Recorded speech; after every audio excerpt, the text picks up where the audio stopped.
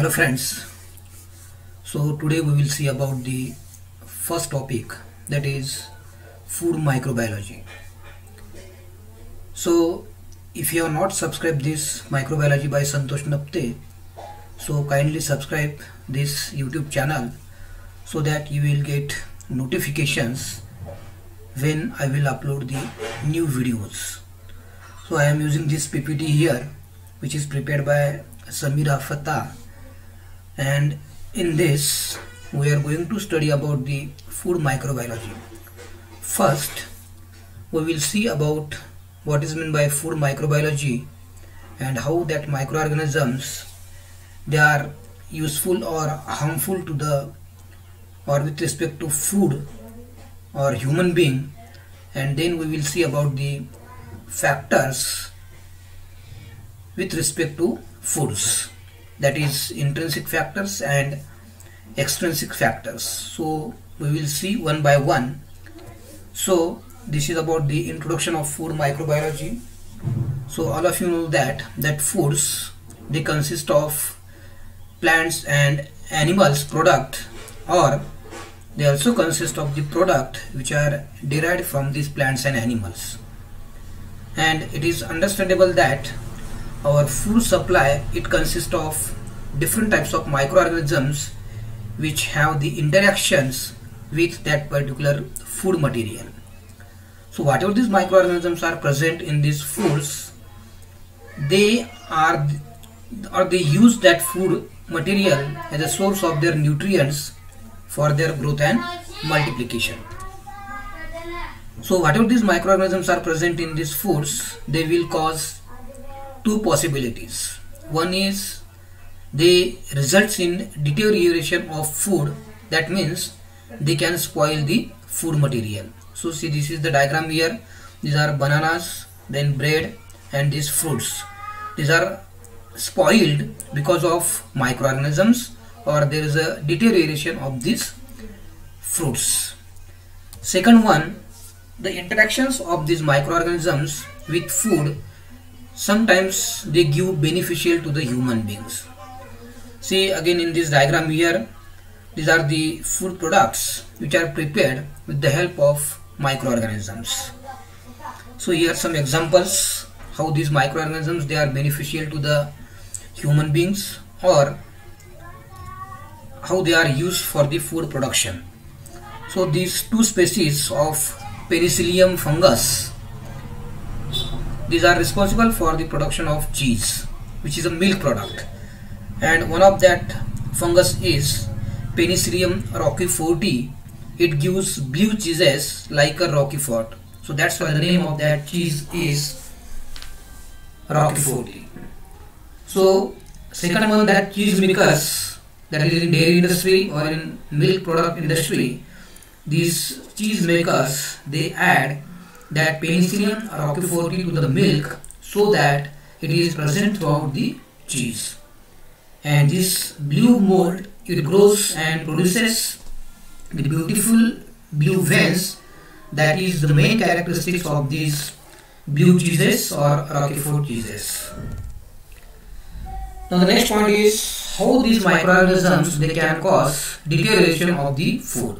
Now all of you know that or you see in your home there is a spoilage of that foods that may be fruits or that may be vegetables or that may be grains. They get spoiled because of these microorganisms. But how these microorganisms they cause such type of spoilage or how these microorganisms they cause deterioration of the food.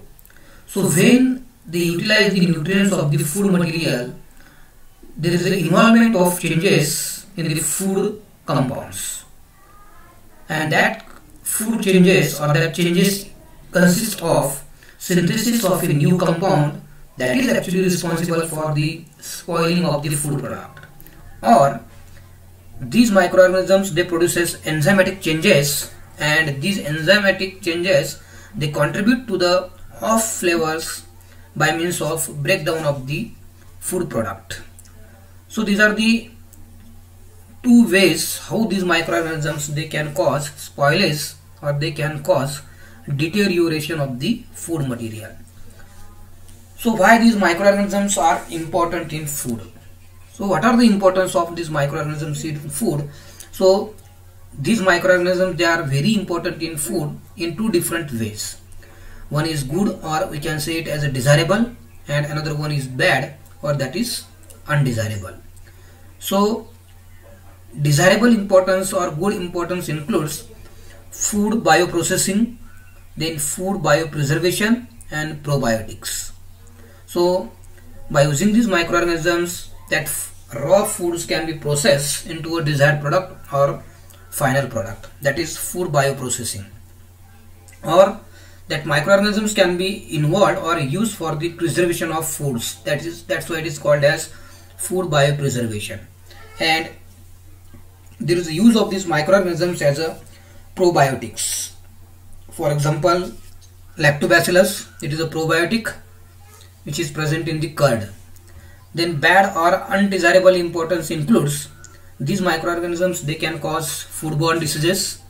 That is when that particular food material get contaminated with pathogenic microorganisms and when that humans they eat such food material contaminated food material so it, they will suffer from the different types of foodborne diseases or illnesses. And these microorganisms they also can cause the food spoilage. That's why that food becomes uneatable or it cannot be eaten by the human beings. So these are the importance of microorganisms in food. Now in detail we will see here good or desirable changes that one is food bioprocessing. It means foods produced by using biological processes. That means by using microorganisms here. And in this process that food grade microorganisms these are used to produce different types of fermented foods using raw material from animal as well as plant sources. And here that microorganisms which are used for biological processes that microorganisms are called as starter cultures because these are used to produce that desirable food product besides this that microbial enzymes they are also being used to produce the food as well as food additives. So starter cultures here it is a concentrated preparation of live cells that is added to the raw material to initiate fermentation rapidly.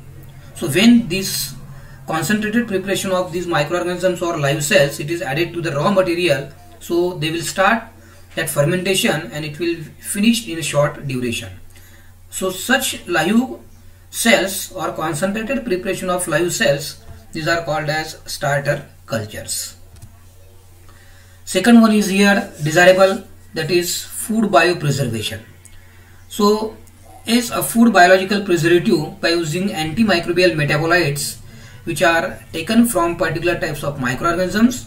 It control or in order to control pathogenic and spoilage causing microorganisms present in the foods because there are some preservatives which are derived from the microorganisms and that are antimicrobial metabolites.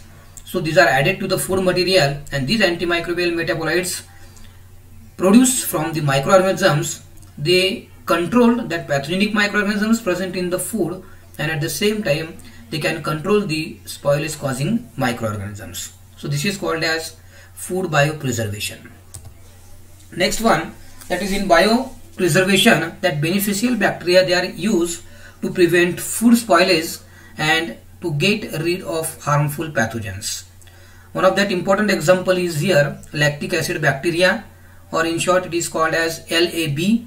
These are the most commonly used biopreservative due to their unique properties and because of their harm because they are harmless to the human being.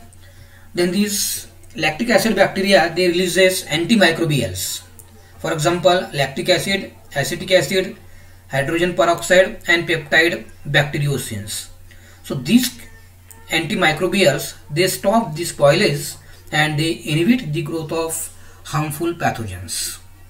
So these are the this is the one important example of this biopreservation. The next one is here probiotics.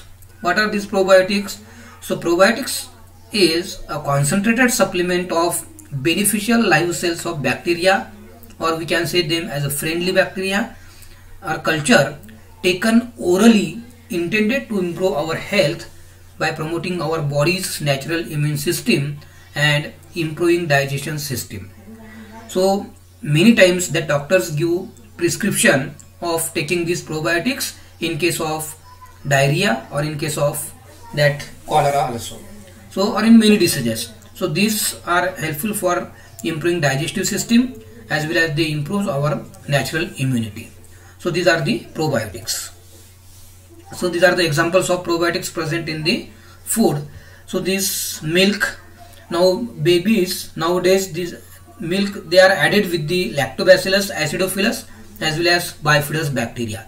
So these lactobacillus acidophilus and bifidus bacteria these are added in the baby's food and they are functioning as a probiotic to improve the immunity of natural immunity of that kids as well as they helps in the digestion. Then another one is here yogurt which is rich with live bacteria culture for example lactobacillus bulgaricus and streptococcus thermophilus. So uh, these two are also the probiotics. Next one is here cheese. That friendly bacteria that is added in the cheese is lactobacillus. So these are the branded names here nestle or that is nudo but these are the examples of here probiotics. So all of we have seen here that was about the desirable or good interactions or importance of microorganisms in food. Now how these are bad or how they are undesirable. So there is a foodborne diseases. So what are these foodborne diseases here? So foodborne disease is a disease which is caused by the consumption of contaminated food material during the various stage of handling between production and consumption which by many pathogenic microorganisms. That may be bacteria that may be molds or that may be viruses. Then food spoilage is a condition of contamination of food due to growth of microorganisms in food or due to the action of microbial heat stable enzymes. And this food spoilage or when that foods get spoiled because of these microorganisms. So they are unfit for the human consumption and finally that spoilage it leads to the wastage of food and huge economic loss to the farmers as well as to the producers. Now the next point that we have seen here basic about my food microbiology. Now we will see about the intrinsic and extrinsic factors. Or that factors influencing the growth of microorganisms in foods or which affect the growth of microorganisms in food so whatever these factors are here, these factors are divided into two types. One is intrinsic factors and another one is extrinsic factors. So what are these intrinsic factors? Intrinsic factors are those factors which are itself related to the food material or these are inherent in the food material and these intrinsic factors includes pH that is hydrogen ion concentration then moisture content or which is also called as water activity then nutrient content of the food then antimicrobial substances present in food and biological structure of that particular food material. So all these are the intrinsic factors. Why these are called as intrinsic? Because they are related with the food or these are inherent with the food or in the food. So one by one we will see here. The first one is hydrogen ion concentration so many bacteria they grow best at neutral or weakly alkaline pH or slightly alkaline pH and usually between the 6.8 to 7.5. So this is the optimum pH for the growth of many microorganisms present in that food.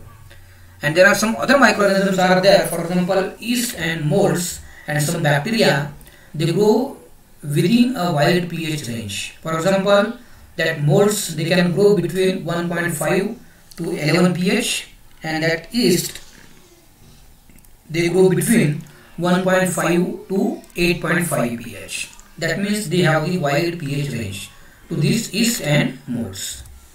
See these are the pH values of food products here.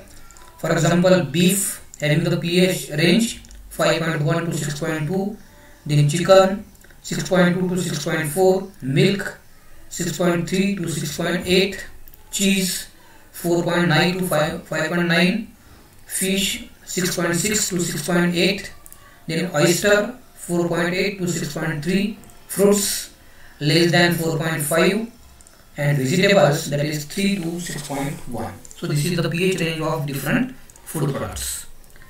Then according to the pH requirement that microorganisms are classified into different types. So microorganisms that are able to grow in acidic environments or in acidic pH, these microorganisms are called as acidophilic microorganisms. And these microorganisms are able to grow at pH of around 2, that is acidic pH or highly acidic pH. Then examples include yeast and molds, so they can grow under acidic environment or in acidic conditions or in acidic pH. So there are some other microorganisms are there, for example Vibrio cholerae, these are sensitive to acids. So they cannot grow in acidic foods or foods having the acidic pH and such microorganisms that is Vibrio cholerae, they prefer alkaline conditions or they prefer alkaline pH. Then many bacteria these are killed in strong acid or strong alkaline environments except mycobacteria. So these mycobacteria they can grow in acidic as well as alkaline environment but many bacteria these are killed in strong acidic environments or in strong alkaline environments. Second factor or intrinsic factor is moisture content. The effect or it is nothing but the water activity. So the effect of moisture it is in terms of water activity or which is nothing but the amount of free water in a food medium. The amount of free water is important for the growth of microorganisms because whatever the enzymes are produced by microorganisms to produce a particular food material or to spoil a food material that enzymes for the activity of that enzymes there is a requirement of water so when there is a water is available that is nothing but the water activity then and then only that microorganisms they can function and if there is a lack of this free water then that microorganisms they will not grow. So there is a requirement of moisture for the proper growth and multiplication of microorganisms or there is a requirement of water activity that is availability of water. So the water activity it is denoted by the AW small a and small w. That is the symbol of water activity. The next intrinsic factor is nutrient contents of the food so microorganisms requires proteins, they also require carbohydrates, they require lipids, water, energy, nitrogen, sulfur, phosphorus, vitamins and minerals for their growth and multiplication. And all these foods or that different foods they have the specific nutrients that help in microbial growth. Foods for example milk, then meat and eggs they contain large number of nutrients that are required by the microorganisms and therefore these foods are more susceptible to microbial spoilage or they get easily spoiled because they consist of different types of nutrients which are required by the microorganisms. Next intrinsic factor is antimicrobial substances. So these antimicrobial substances means these are effective against the microorganisms. Anti means against so these antimicrobial substances present in the food, they inhibit the growth of microorganisms and that various foods, they have their own antimicrobial substances that can prevent or that can inhibit the microbial attack. So that that foods get prevented from spoiling or deterioration. And such inhibitors or antimicrobial substances includes lecithin that is lectinin and anticoliform factors which are present in milk and egg white that is and there is the presence of lysozyme in eggs. Lysozyme it is the enzyme which is inhibitor to the growth of microorganisms. Next intrinsic factor is biological structures. So there are some foods they have the biological structures and because of that they prevent the microbial entry or they prevent the spoilage by these microorganisms. For example, meat has fascia or skin and other membranes. So these structures they prevent the microbial entry. Then eggs have shell as well as inner membranes So these eggs, egg shell and inner membrane, they prevent the yolk and egg from the infection or from the contamination. So these are the biological structures which is also a important intrinsic factor of the food. So second type of factors are called as extrinsic factors. So what are these fact extrinsic factors? Extrinsic factors are those factors which are not related to the food. Actually they are related to the surrounding environment where that particular food is stored. So such factors are called as extrinsic factors and this includes temperature of storage, presence and concentration of gases in the environment and relative humidity of food storage environment. So these three are the extrinsic factors. So one by one we will see here temperature. So the growth of microorganisms it is affected by the environmental temperatures and different types of microorganisms they are able to grow at a specific temperature but they are unable to grow at another temperatures so they will require a specific temperature which is called as optimum temperature. So microorganisms can therefore be divided into the different groups depending upon their optimum temperature of the growth. Because different microorganisms they require different temperature for their proper growth. And that's why these microorganisms they are classified into different types according to their temperature requirement. One is psychrophilic so what are these psychrophilic microorganisms? Those microorganisms which grow best at about 20 degrees celsius but also less than or down to minus 10 degrees celsius in unfrozen media. Such microorganisms are called as psychrophilic microorganisms simply these psychrophilic microorganisms they can grow best at lower temperatures. Psychrophilic bacteria they can cause food spoilage at low temperatures. So those foods which are stored at low temperature so that can be spoiled by these psychrophilic microorganisms. Then many microorganisms found in the soil and water belongs to this psychrophilic group of bacteria. So bacteria of the genera Achromobacter, Flavobacterium, Pseudomonas and Micrococcus. These are psychrophilic bacteria. Then molds of the genera that is Penicillium, Cladosporium and Mucor. These are psychrophilic in nature. Second one is here mesophilic bacteria. So what are these mesophilic microorganisms? So those organisms or microorganisms which grows between 25 degrees Celsius to 40 degrees Celsius with an optimum temperature of 37 degrees Celsius. So these microorganisms are called as mesophilic and none of the mesophilic bacteria they are able to grow below 5 degrees Celsius or above 45 degrees Celsius. So they can grow within this range only. But below 5 degrees Celsius or above 45 degrees Celsius these mesophilic bacteria they can't grow. And most pathogenic bacteria they belongs to this mesophilic bacteria or mesophilic group of microorganisms. Then third one is here thermophilic microorganisms.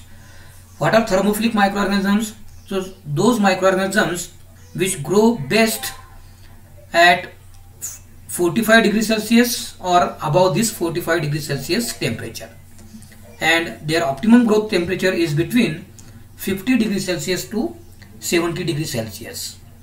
And growth of some bacteria it can occur above 80 degrees Celsius also. So simply these thermophilic bacteria are nothing but or microorganisms are nothing but those microorganisms which can grow at temperatures above the 45 degrees Celsius.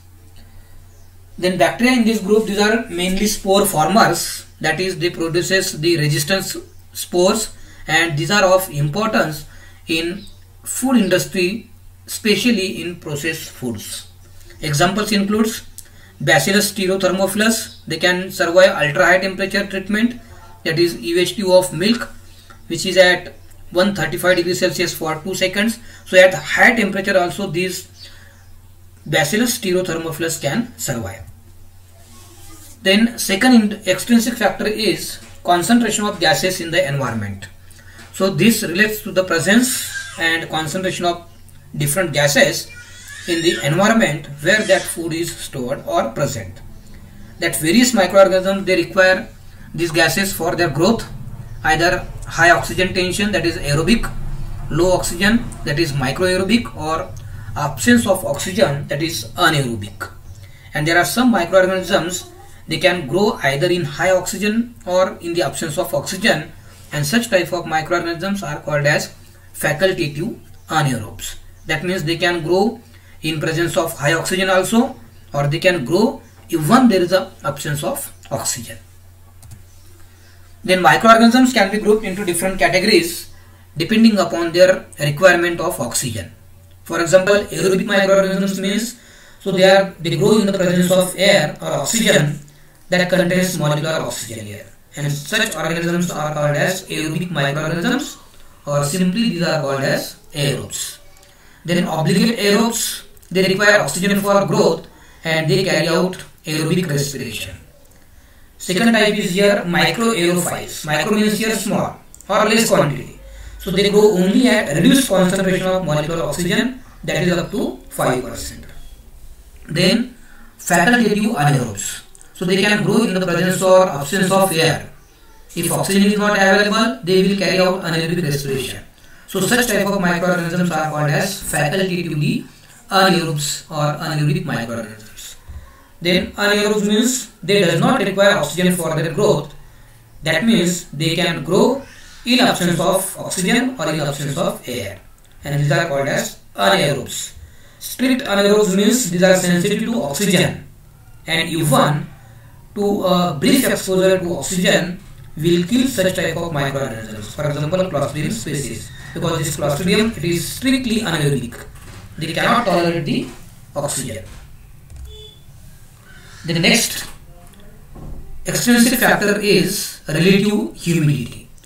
So this relative humidity it is the amount of moisture present in the atmosphere or food environment.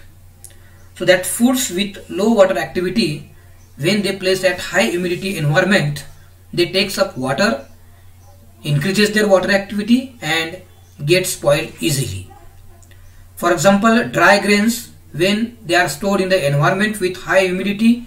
They will take up water from the environment and there is a mold can spoilage these stored grains here.